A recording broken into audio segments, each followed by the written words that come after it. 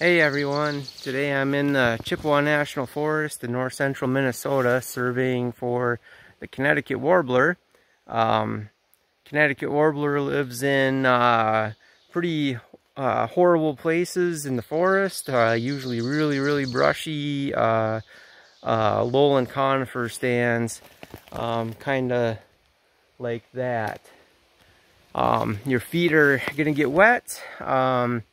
This is uh, actually one of the better stands that I that I have surveyed.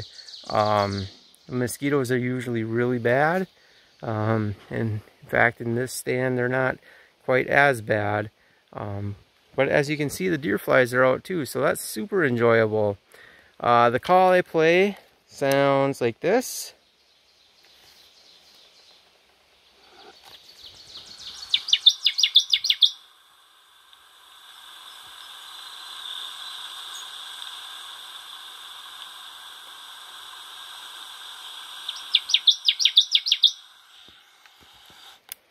So I play that for about 30 seconds, listen for two minutes for a response, and if I don't hear anything, I play it again and do the same uh, method.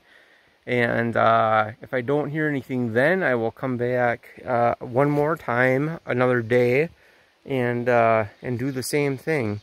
So um, I hope you found this uh, at least marginally interesting, and uh, and enjoy your hopefully mosquito free day.